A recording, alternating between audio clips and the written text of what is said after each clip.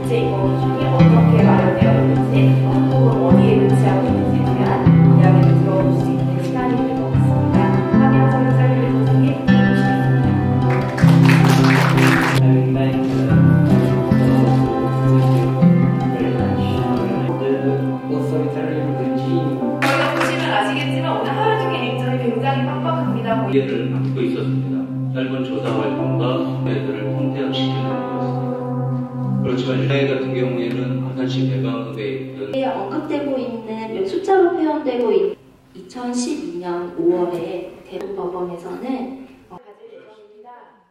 네, 12시부터 거는 서울 고등법원으로 돌려보내게 됩니다. 그러면 약간 역광이니까 네, 이런 식으로 네. 아, 앉, 앉아도 좋고요. 어, 앉으면 더 좋아요. 네. 어쩌다가 이런 행사를 되게 행사가 큰데요? 이게 사실은 제가 어, 자연스럽게 얘기하면 되죠? 네. 이게 사실은 제가 유족분들한테 약속한 게 있어서 마음의 빚으로 시작한 행사예요. 그러니까 저는 원래 이런 국제연대 사업을 계속 했었던 사람이고 유엔 대응 같은 걸 했, 해왔기 때문에 과거사 특별보고관이라는 사람이 있으니 그 사람도 한번 활용해보면 좋겠다라고 제가 말씀을 드린 거예요. 작년 연말에 있었던 사삼 유족회 토론회에도 제가 가서 특별보고관 불러오겠습니다라고 얘기를 해서 이제 더 이상 제가 뒤로 물러설 곳이 없는 거예요. 제가 영령들을 상대로 계속 거짓말을 할 수 없잖아요. 이 과거사 특별보고관이라고 하는 분이 193개 국가의 과거사 이슈를 다 다뤄야 되는 분이니까 얼마나 바쁘겠어요. 그래서 그래도 이제 아시아에 꼭 한국에 와주셨으면 좋겠다라고 요청을 드려서 바쁜 일정에 시간을 내서 이번에 방문을 하시게 되었습니다. 그 제주의 목소리를 들려주신 김종민 선생님의 발제를 듣겠습니다.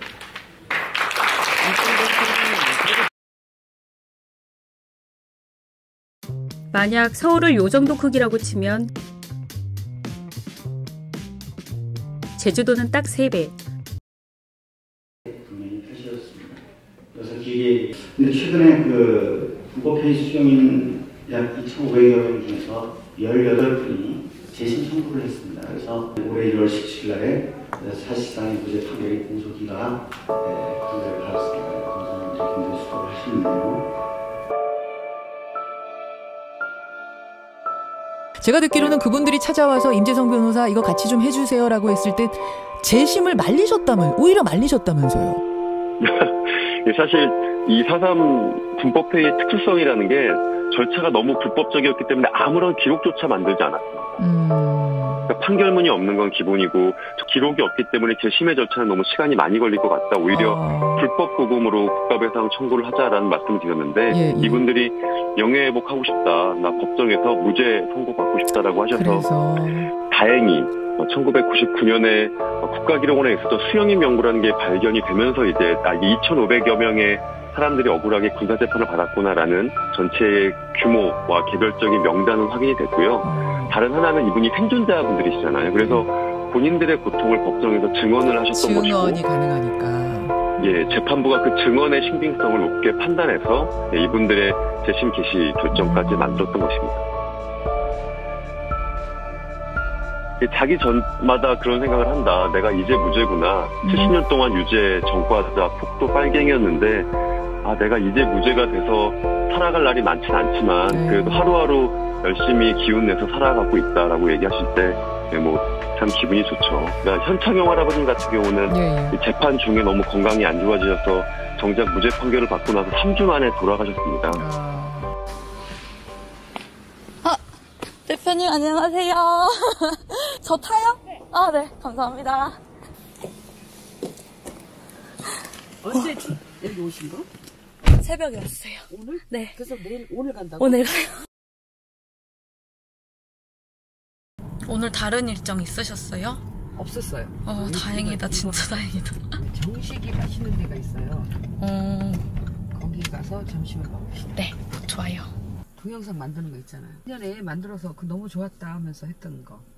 저희 시리즈. 시리얼. 저희 시리즈였어요? 응. 아, 아, 저기, 네, 동복리 할망. 네, 네, 네, 네, 네. 맨날 이거 했다 뭐. 벌을 벌어도 하루방 태우를 벌어도 하루방 때 물들러만 벌고 그냥 밭 용치해도 그냥 하루방 통 맺죠. 가끔 그 강의할 때 쓰거든요. 아, 진짜요? 제주 그 여성을 설명할 때 오. 그게 좀 임팩트 있어서 그 이후에 이제 작년에 네. 우리가 그 구술 촬영을 했잖아요. 열 분을 했는데 그 할머니 얘기가 이 할머니 얘기 같, 같은 거야. 음.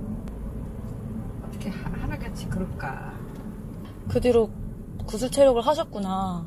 네, 올해도 해요. 음. 작년에 열분 했고 올해도 한열 분에서 열한 그거를 몇 년을 하려 그래요. 음. 3, 4, 4년 정도 하고 5년 차는 그거를 이제 이, 이걸 어떻게 할 건가 어떻게 외화시킬 건가를 음. 고민을 해야죠. 모든 출판사에서는 출판할 때 자기네한테 해달라 아직 시, 작이다 이제 뭐 그러고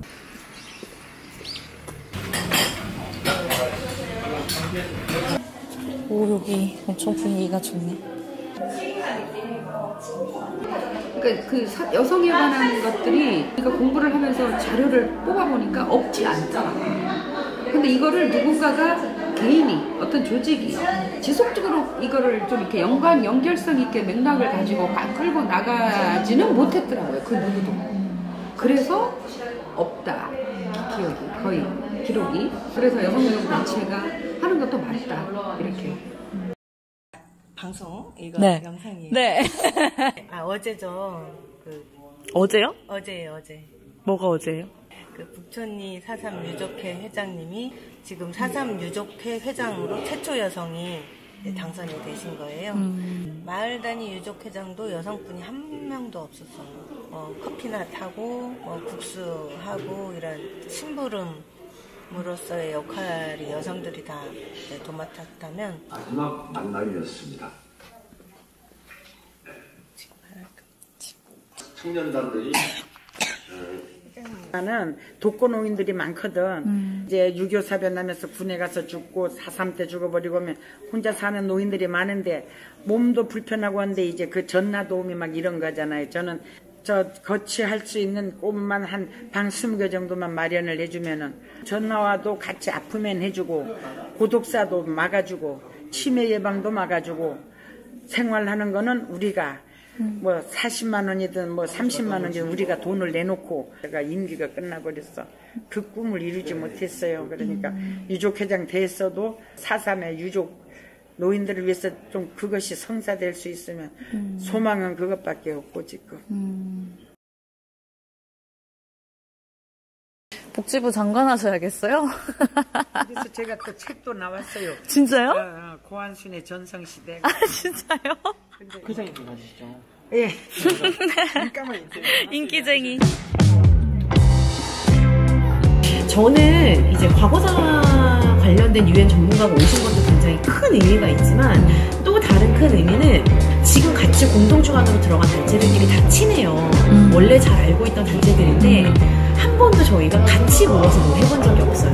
이 과거사도 일제 강점기 때 이번 층의 문제를 생각하지 않으면 사삼을 이해할 수가 없고 사삼이 이해가 안 되면 한국전쟁이 이해가 안 되고 한국전쟁이 이해가 안 되면 군부 독재 시기에 군수폭력이 이해가 되지 않는 이게 다 연결되어 있는 문제고 청산되지 못한 과거사가 쌓이고 쌓이고 쌓여서 오늘의 문제까지 이어지고 있다고 보기 때문에 통합적인 접근으로 볼 필요가 있는 거죠. 제주다큐터를 만들었을 때는 그 여러 가지 목적 중에 하나는 좀 새로운 시민운동을 해보고 싶었다는 생각이 있었어요.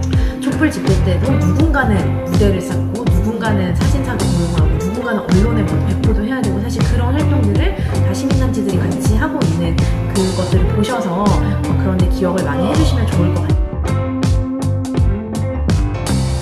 제주다 커트원은 운이 좋아서 시리얼 같은 만나고 또 이제 영상을 통해서 그리고 펀딩을 통해 많은 분들이 후원을 해주시고 우리가 세월호 참사를 겪으면서 모두가 기억하는 거에 대한 공감을 같이 했다라면 또 사상도 같이 기억할 수 있으면 좋겠다라는 생각을